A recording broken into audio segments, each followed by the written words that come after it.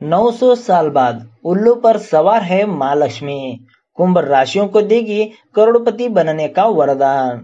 जय हो माता लक्ष्मी जी की। दोस्तों, पूरे 900 साल बाद उल्लू पर सवार है माँ लक्ष्मी और इसी के चलते माँ लक्ष्मी खुद कुंभ राशि को करोड़पति बनने का वरदान दे रही है। अगर आप अच्छी तरह से मेहनत करेंगे और अपने लक्ष्य को पाने के लिए योजना बनाकर काम करेंगे तो आप जल्द ही करोड़पति बन सकते हैं।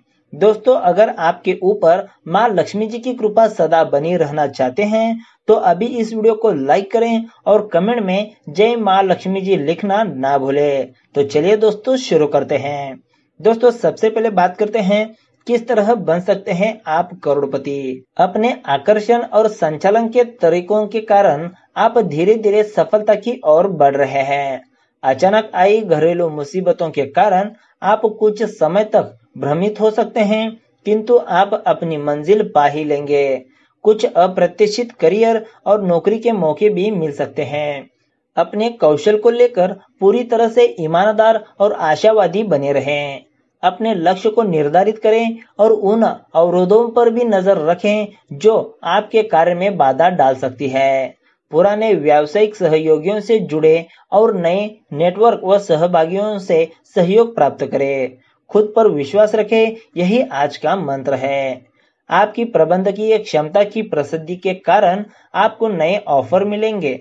अपने कार्य और कौशल का मूल्यांकन करने के बाद आप सफलता की सीढ़ियाँ चढ़ सकते हैं। याद रखें, अपने सपनों का अनुसरण करने से सफलता अवश्य प्राप्त होती है। आप अपने कार्य को पूरा करने में पूरी जान लगा देंगे। क्षमताओं और गुणों का अच्छे से उपयोग करने के लिए यह समय बेहतरीन है। अपने विकास के लिए नए कार्य और नए अवसरों को खोजे, सकारात्मक सोचे और आशावादी बने। यही आज का मंत्र है। याद रखें जिसका ज्ञान पूर्ण है, सफलता उसका साथ देती है। दोस्तों, अब बात करते हैं कुंभ राशि की लव लाइफ के बारे में। आप अपने बड़े भाई या बहन के साथ समय बिताएँगे। रोमांटिक संबंधों को लेकर चिंतित हो सकते हैं, लेकिन याद रखिए कि मोहब्बत में रोमांच बनाए रखने के लिए कोशिश एक तरफा नहीं, दोनों तरफ़ होनी चाहिए। कोई शुभ चिंतक आपका मार्गदर्शन कर सकता है। आप सोचेंगे कि आप अपने जानू से क्या चाहते हैं, लेकिन इसका भी विश्लेषण करें कि आपके पास उन्हें देने के लिए क्या है। आपके व्यक्तित्व से कोई आपकी तरफ़ आकर्षित हो जाएगा, किंतु आपकी भावनाएँ उन्हें आपके बारे में सोचने के लिए मजबूर कर देगी। एक साधारण चैट दिल में जगह बनाने में मदद कर सकती है।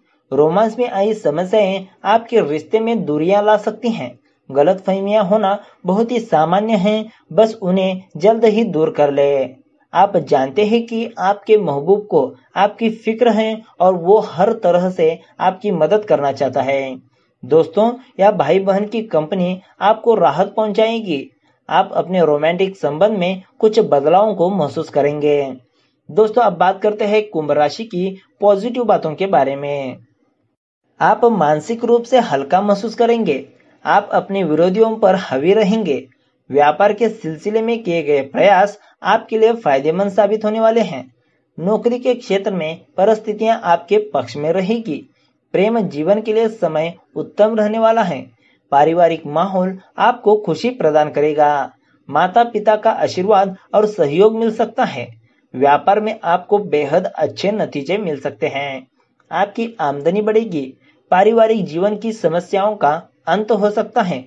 हनुमान जी की कृपा से आपका कोई महत्वपूर्ण कार्य पूरा होगा, जिससे आपका मन प्रफुल्लित होगा।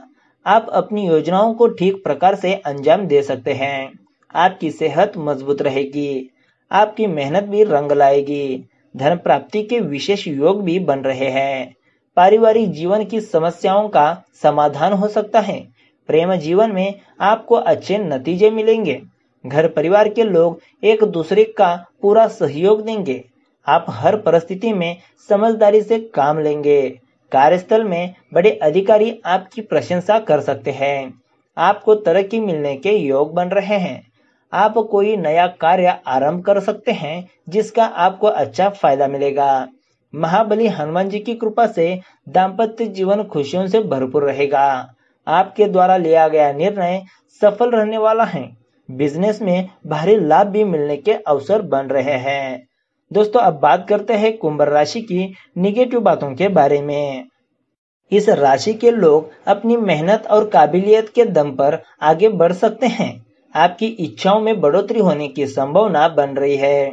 इस राशि वाले लोगों को किसी भी लंबी दूरी की यात्रा पर जाने से बचना होगा। घर परिवार के किसी सदस्य से कोई समस्या उत्पन्न हो सकती है। धर्म कर्म के कामों में आपकी रुचि बढ़ेगी।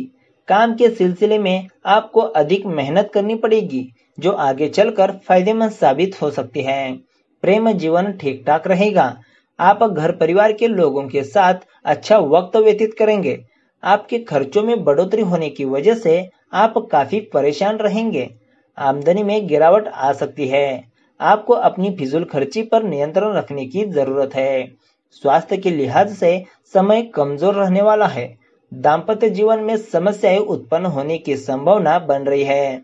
इस राशि वाले लोगों को अपनी योजनाओं पर ध्यान केंद्रित करने की आवश्यकता है, अन्यथा आपकी कोई योजना रुक सकती है। कोई भी बड़ा निर्णय लेने से पहले सोच विचार करने की आवश्यकता है, अन्यथा आपको नुकसान का सामना करना पड़ेगा। आपको अपने कामकाज में बहुत अधिक ध्यान देने की ज़रूरत है। जीवन साथी के साथ तनाव उत्पन्न होने की संभावना बन रही है। काम के सिलसिले में आपको किसी यात्रा पर जाना पड़ सकता है। वाहन के प्रयोग में लापरवाही ना करें। सामाजिक क्षेत्र में मान सम्मान की प्राप्ति होगी। आप कुछ नए लोगों से जुड़ सकते हैं। तो दोस्तों, अब बात करते हैं कुछ वास्तुशास्त्र के बारे में। जी हाँ दोस्तों, इन कारणों से घर में नहीं होती बरकत। माँ लक्ष्मी भी छोड़ देती है साथ। दोस्तों, मनुष्य घर में सुख समृद्धि बनाए रखने के लिए अपनी तरफ़ से हर संभव कोशिश करता है। दिन रात मेहनत करके अपने घर परिवार को खुश रखने की कोशिश में लगा रहता है। परंतु ना चाहते हुए भी किसी न किसी प्रकार की परेशानी उत्पन्न हो जाती है, जिसके कारण मनुष्य अक्सर चिंतित रहता है। परंतु जो भी घर परिवार में दिक्कत उत्पन्न होती है, इसके पीछे हमारे घर का वास्तु दोष भी हो सकता है। वास्तुशास्त्र में घर की सुख समृद्धि के लिए कई प्रकार के नियम बनाए गए हैं, जिनका अगर व्यक्ति पालन करता है तो घर के सभी सदस्य हमेशा सकारात्मक ऊर्जा से भरपूर रहेंगे और घर की नकारात्मक ऊर्जा समाप्त होगी। वास्तु दोषों के कारण घर के लोगों का मन दुखी रहता है। किसी न किसी प्रकार की परेशानी आती रहती है। इतना ही नहीं, बल्कि धन हानि का सामना भी करना पड़ता है। आज हम आपको वास्तु दोष दूर करने के कुछ तरीके बताने वाले हैं, जिससे आपके घर परिवार की खुशियाँ बरकरार रहेगी।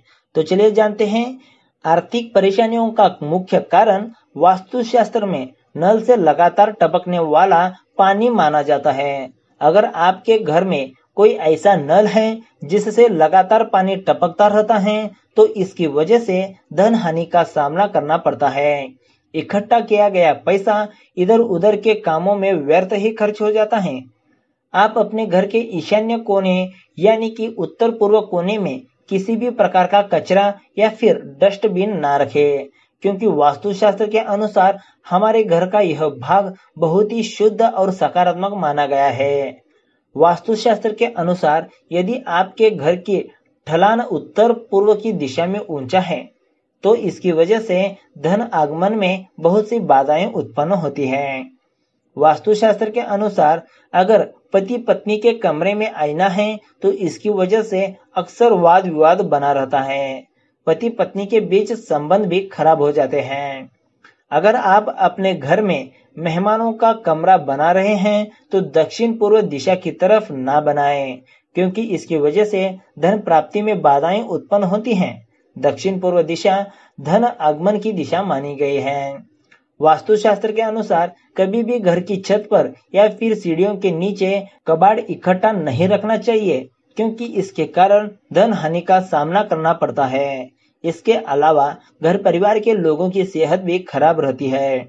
यदि किसी व्यक्ति के घर में शौचालय दक्षिण पश्चिम दिशा में है तो इसकी वजह से घर में धन नहीं रुकता है। वास्तुशास्त्र के अनुसार आप अपने घर में अलमारी हमेशा दक्षिण दिशा की दीवार से सटा कर रखे और अलमारी का मुँह उत्तर दिशा की तरफ़ होना चाहिए। आपको इस बात का ध्यान रखना होगा कि दक्षिण दिशा की तरफ़ तिजोरी या अलमारी का मुँह ना रखे, क्योंकि इसकी वजह से धन हानि होती है। वास्तुशास्त्र में इस बात का उल्लेख मिलता है कि घर के उत्तर पूर्व में ढलान होना चाहिए और इसी दिशा में पानी का निकास रहे। उत्तर पश्चिम का भाग हमेशा ऊँचा रहे। तो दोस्तों, इस तरह से पूरे 900 साल बाद उल्लू पर सवार है माँ लक्ष्मी और इसी के चलते कुंभ राशियों को देगी करोड़पति बनने का वरदान। जी हाँ दोस्तों, आज की वीडियो में बस इतना ही। वीडियो अगर अच्छा लगे तो एक लाइक ज़रूर करेगा और आपके मन में कुछ सवाल या परेशानी हो तो हमें कमेंट करके ज़रूर बताएगा। उसका जवाब हम आपको तुरंत देंगे। तो दोस्तों, मिलते हैं एक नए वीडियो के साथ। धन्यवाद।